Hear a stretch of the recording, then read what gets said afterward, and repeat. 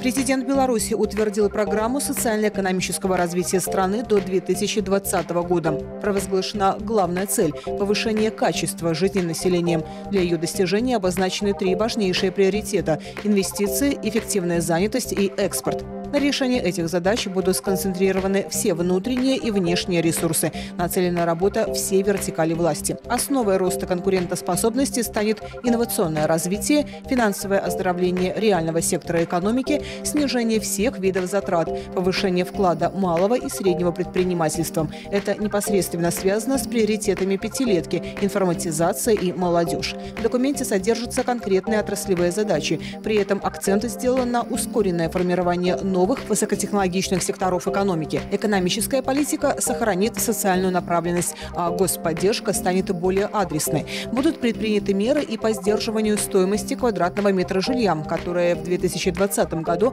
должна соответствовать средней заработной плате по стране. Темпы роста экономики должны кратно превысить показатели прошлой пятилетки и составить 112-115%, а инфляция не превзойти 5% рубеж.